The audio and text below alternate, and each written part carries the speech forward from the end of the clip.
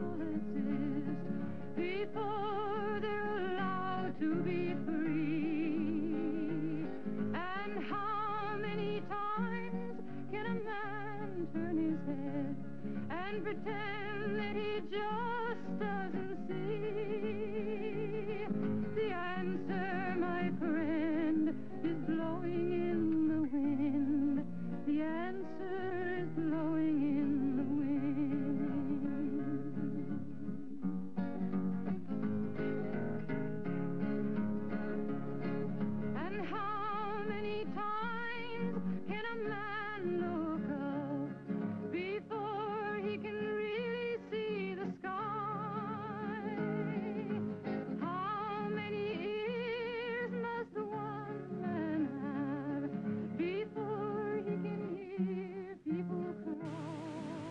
And here is the action as seen from the front. The initial barriers destroy the propellers, separate the landing gear, wrench the engines from their mounts and start engine fires. The pole impact yaws the aircraft. There is a glancing contact with the left wing. The aircraft is pitched up, and the fuselage, weakened by the propeller, fails. There is severe crash impact on the second hill.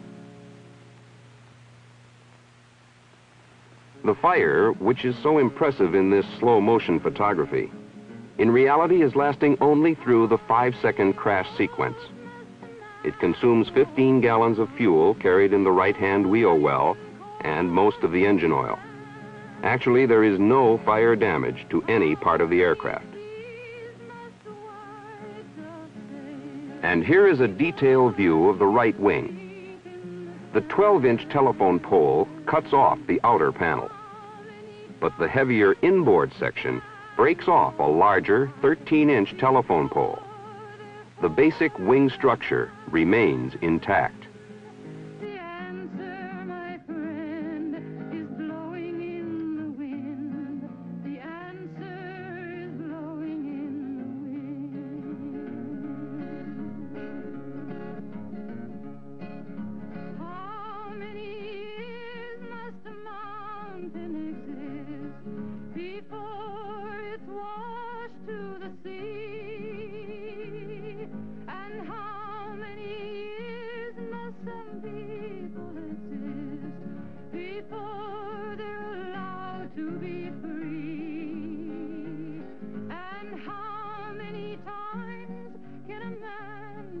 His head and pretend that he just doesn't see?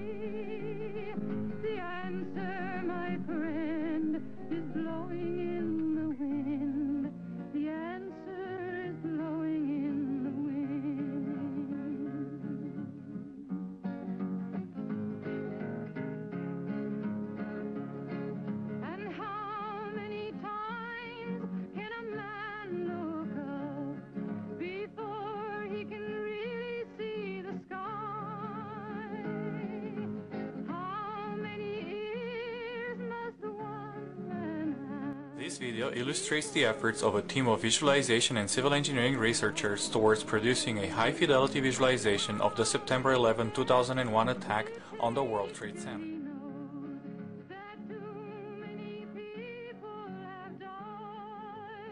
The visualization had to be eloquent to the non-expert user.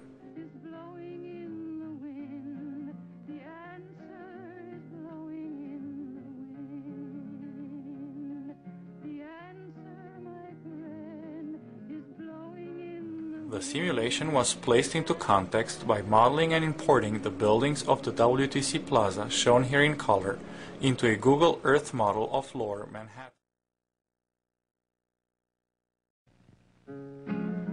A finite element analysis simulation of the impact between the Boeing 767 and the top 20 floors of the North Tower was computed using a state-of-the-art simulation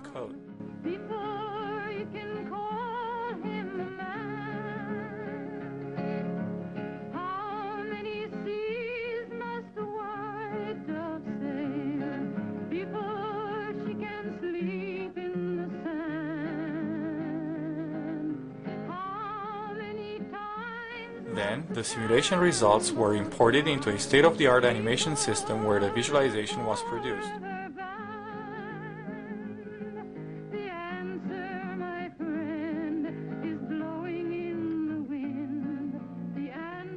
The simulation tracked the impact over three quarters of a second real time. This sequence is 13 times slower than real time. All the animated geometry seen here was created automatically from the simulation output data. washed to the sea.